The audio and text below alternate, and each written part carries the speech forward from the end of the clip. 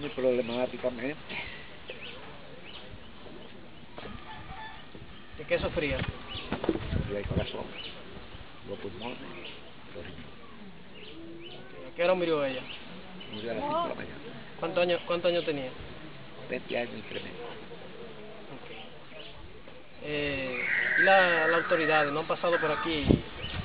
Nunca le dieron la mano para usted. ¿De qué usted depende?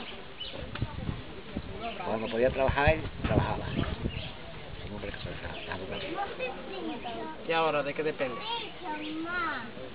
Depende de poca cosa. Ok. ¿Qué tiempo tiene viviendo aquí en esta, en esta casa? Bueno, aquí yo tengo viviendo.